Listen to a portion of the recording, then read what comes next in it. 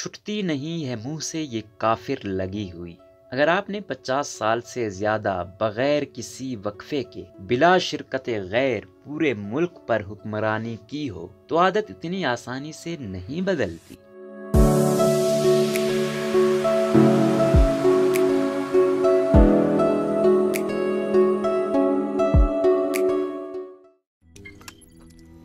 रोज़नामा कुदरत की वीडियो देखने के लिए अभी यूट्यूब चैनल पर सब्सक्राइब करें।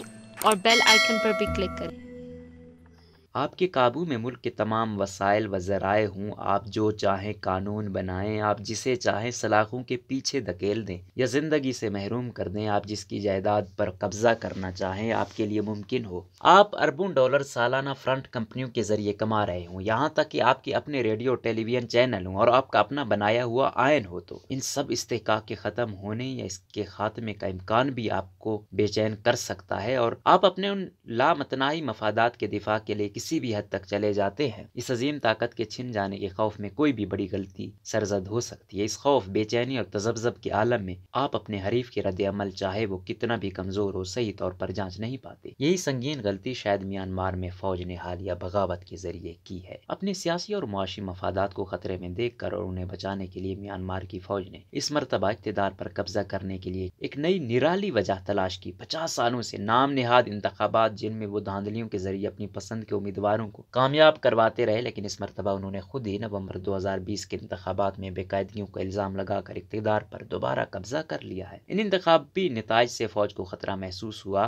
कि बरसर इकतदार और अवाम में जड़ें रखने वाली पार्टी एन एल डी की नवंबर इंतबात में ज़बरदस्त फतह और फौज की अपनी हिमायत याफ्ता सियासी पार्टी की बुरी शिकस्त के बाद शायद इसके इख्तियार और कुत में कमी आ जाए। पहले कदम के तौर पर इलेक्शन कमीशन से मुतालबा किया गया इंतबात के नतज को तब्दील किया जाए, मगर कमीशन के शफाफ और मुनसिफाना इंतबात के नतज को तब्दील करने से इनकार पर वही किया गया जो म्यांमार की फौज उन्नीस सौ बासठ से करती आई है। इस इंतब के नतीजे से फौजी क्यादत को ये लगा कि अब मुल्क की रहनुमा आंग सान सूची इस भारी अक्सरियत के ज़रिए आयन में ऐसी तब्दीलियाँ लाएँगी जिससे उनकी सियासी व मुआशी मफादात और मुल्क पर गिरफ्त में कमी आ जाए। फौज पहले ही पुलिस, महकमा दिफा और दाखिला की, दाखिला को मुकम्मल तौर पर काबू किए हुए है। आंग सान सूची ने जमहूरी जैन होने के बावजूद फौज की मुख्तलिफ़ गैर कानूनी हरकत और अकलीतों के खिलाफ मजालिम खसूस रोहिंग्या, मुसलमानों की नस्ल कुशी का भी दिफा किया। वो इस उम्मीद से थी कि फौज के उन जालिमाना इकदाम की हिमायत या उनसे चशम पोशी करके वो फौज को महदूद रख सकेंगे और जमहूरियत और जमहूरी इकतदार को मज़बूत कर सकेंगी। मगर इन इनायात के बावजूद वो फौज को अपने पेशा वाराना किरदार तक महदूद करने में नाकाम रही, जिससे उनकी बैन अवी साख भी मुतासर हुई। फौजी ताला आजमाओं को ये रियायत देते हुए वो ये बुनियादी असूल भूल गई कि तीसरी दुनिया के ममालिक की अफवाज का अपना जहन और अपने मफादात हैं, जिनके दिफा के लिए वो किसी हद तक जा सकती हैं। ये जहन जनूबी मशरकी एशिया के बाकी ममालिक इंडोनेशिया, थाईलैंड, जनूबी कोरिया और दीगर ममालिक में भी पिछले पचास सालों से नज़र आया है। इंडोनेशिया में फौज को मजबूरन ताकत अवामी नुमाइंदों के हवाले करनी पड़ी,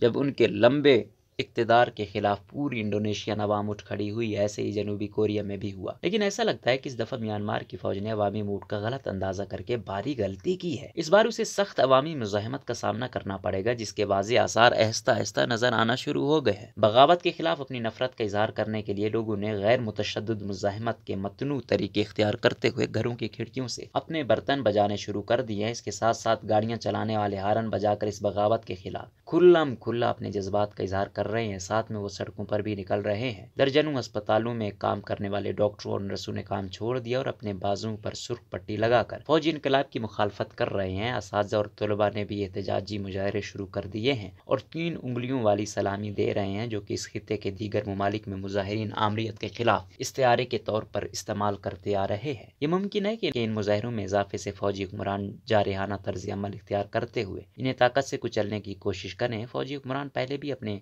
हज़ारों हम वतनों को माजी में मौत के घाट उतार चुके हैं और यही तर्ज अमल अब भी दोहराया जा सकता है। लेकिन इस मरतबा सख्त अवामी रद्द अमल शायद म्यांमार में फौज के असर रसूख और सियासी मुदाखलत का दरवाज़ा हम साया ममालिक इंडोनेशिया और जनूबी कोरिया की तरह हमेशा के लिए बंद कर दे। म्यांमार में फौजी इनकलाब में दुनिया भर में जमहूरी कुतों बशमूल पाकिस्तान के लिए बहुत सारे सबक पहना है। सबसे बड़ा सबक अपने जमहूरी असूलों पर डटे रहने का है। अंगसान सूची ने फौज को खुश रखने के लिए और शायद जमहूरियत को दवाम देने के लिए रोहिंग्या मुसलमानों की नस्ल कुशी तक का दिफा किया, मगर जब फौज को अपने मफादात खतरे में नज़र आए तो उन्होंने बगैर किसी तवक्कुफ के उनकी छुट्टी करा दी। तरक्की पजीर ममालिक में फौजी अफशाफिया कभी भी आसानी से अपनी ताकत में शराकत पसंद नहीं करती और ना ही वो सिविलियन क्यादत को बारदस्त किरदार देना चाहती है। जमहूरियत का दिफा सिर्फ़ अवाम कर सकते हैं और जहाँ अवाम जमहूरियत के लिए फौजी हुक्मरानों के खिलाफ उठ खड़े हुए हैं, वहाँ अब जमहूरियत को फ़रोग मिल रहा है, जिसकी वाज मिसाल इंडोनेशिया और जनूबी कोरिया है। म्यांमार के तजर्बात बताते हैं कि जमहूरियत की बिका इसी, की बिका उसी वक्त मुमकिन है अगर अवाम मुतहद होकर अवामी ताकत से सियासी साल आजमाओं का मुकाबला करें।